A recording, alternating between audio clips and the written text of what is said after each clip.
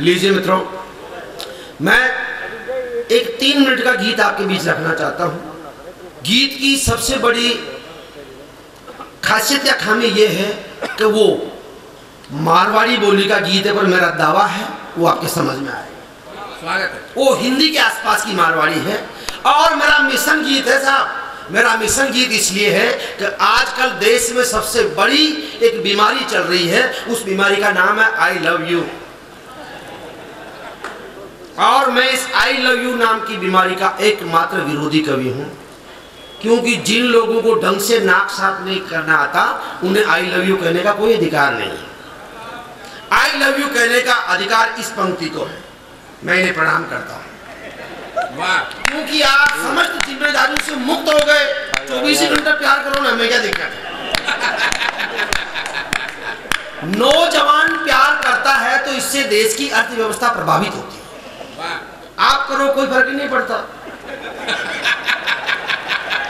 क्योंकि प्यार वास्तव में सत्तर साल के बाद वालों का अधिकार है। तब अनुभव हो जाता है और देश में गाये बगाए अनुभव बोल रहा है। बड़े बड़े संत सिद्ध कर रहे हैं। तब मेरे समझ में आया, लोग कहते नहीं नहीं इन लोगों को प्यार नहीं करना चाहिए नहीं गलत बात है। इन्हें प्यार करना चाहिए। क्योंकि मोबाइल कितना ही पुराना हो जाओ। अखिल भाई, भले उस मोबाइल के बटन टूट जाओ, स्क्रीन अंधी हो जाओ, लेकिन सिम में बैलेंस है तो घंटी बजेगी। ये मामला टोटली सॉफ्टवेयर का है, इसे हार्डवेयर से क्यों जोड़ते हैं?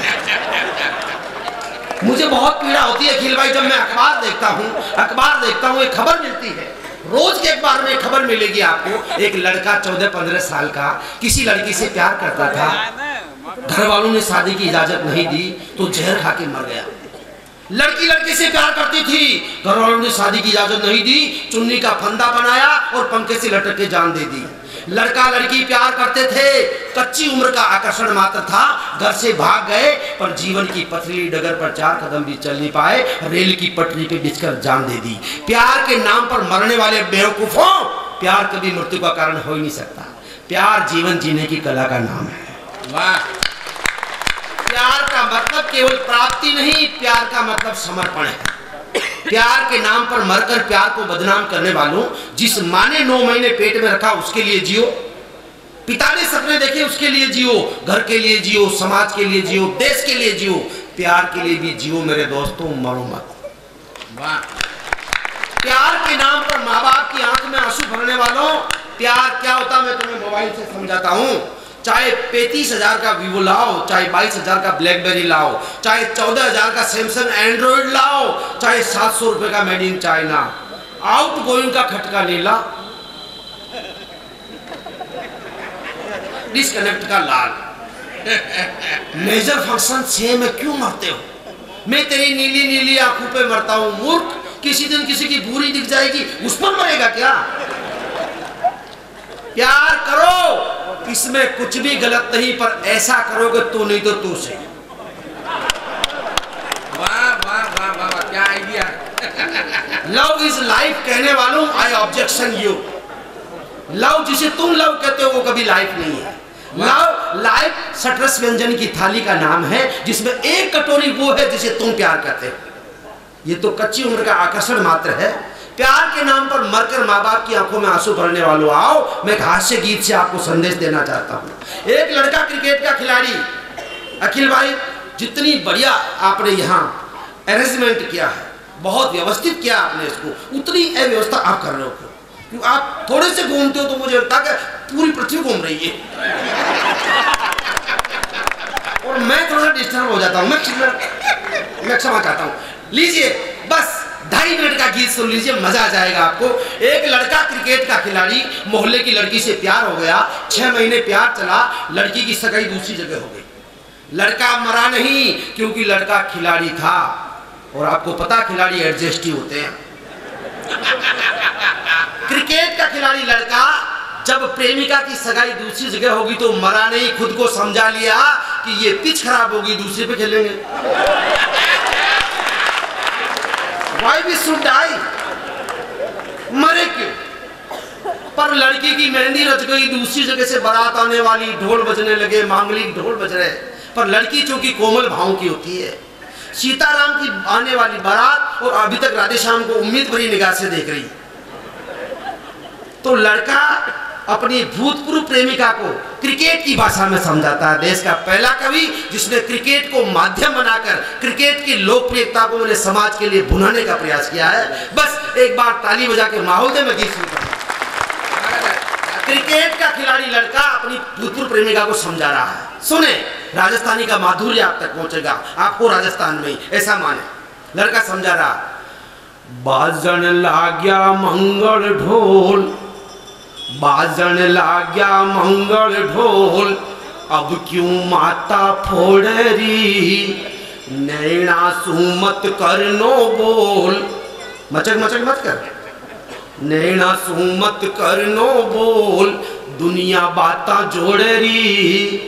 अरे लेग स्टंप पर जाती जाती मिडिल स्टंप क्यों तोड़री बाजन ला गया मंगल ढोल अब क्यों माता फोड़ेरी समझा रहा उसको? समझा रहा? वे बचपन का ट्वेंटी ट्वेंटी। हाँ, सबको पता ओवर कम होते हैं। वे बचपन का ट्वेंटी ट्वेंटी खेलिया घना घना जीत्या। हाथा में साजन की मेहंदी, अब मारा ओवर बीत्या। मौका पे चौका मारिया गेरा का फील्डर हारिया।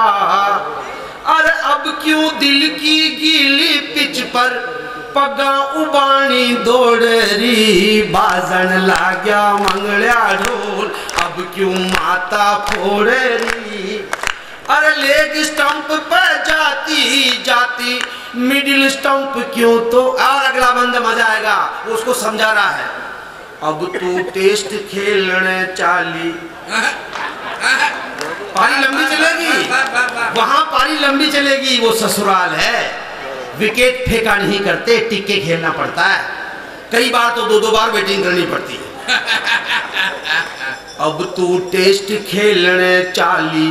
पग पग पे मर्यादा हाँ, घनी अपीला मत कर जे अब नियम कायदा ज़्यादा है। पिचरो, पिच यानी ससुराल का घर, कैसा टर्न लेता पहले समझ लेना। पिच को मूड समझ लीजिए, लाज बीज मत तज दीजिए। अरे तेज उछाड़ा की पिच पर बाउंसर मुंडा तोड़री नैना सु। मत करनो और चार पंक्तियों में पूरा ससुराल समेटने का प्रयास करता हूँ। मंच चाय के जितना ही ध्यान इधर दे दे मेरा काम हो जाएगा। समझाता उसको पूरा ससुराल। लाइन लेंथ और गति राख जे। मेडन ओवर राख ली। ज़्यादा ढीली मत रीजे। नणदल रन रेट बिगाड़े ली हाँ, वाह, वाह, वाह, वाह, वाह, वाह, वाह। ससुरो ससुरो फ्यूज बैटरी है। सासू में चिरेफरी है। अरे सोल्ट बोल मत दीजिए। सोल्ट बोल यानी ओछे बोल ससुराल में मत बोलना। सोल्ट बोल मत दीजिए बालम, आगे बढ़ गमोड़री सु मत करनो बोल। और मित्रों अध्यात्म का सहारा लेता है। आखिरी चार पंक्तियाँ निवेदन करता हूँ। तालियों के साथ विदा दे। मेरा उद्देश्य पूरा हो जाएगा। लड़का क्रिकेट की भाषा में उपदेश दे रहा है। एम्पायर को राख भरोसो। एम्पायर द ग्रेट गॉड ईश्वर हम जो भी कहें। दुनिया का सबसे बड़ा निर्णायक। एम्पायर को राख भरोसो। बोल बेट का जोड़ा है। कसी बोल पर गिल्या उड़ जा। सब श्रृंगार रखोड़ा है। यो जीवन है एक क्रिकेट। सब तगड़ी रन रेट। अरे सबने पेवेलियन जानू है। सबने पेवेलियन जानू है। मूरख मूछ मरोड़री नैना सु मत करनो। बोल